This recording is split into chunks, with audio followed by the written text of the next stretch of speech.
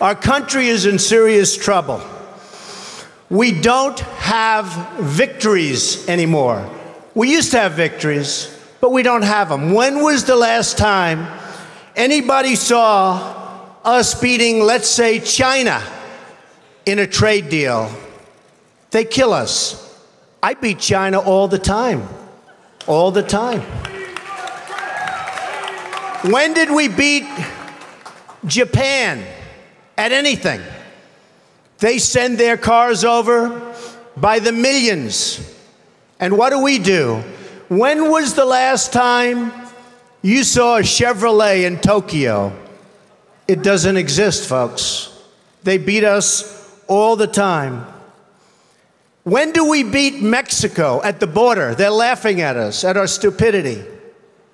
And now they're beating us economically. They are not our friend, believe me. But they're killing us economically. The U.S. has become a dumping ground for everybody else's problems. Thank you. It's true. Thank you all very much. You know, I always feel welcome at Miami Dade College. This is a place that welcomes everyone with their hearts set on the future, a place where hope leads to achievement and striving leads to success.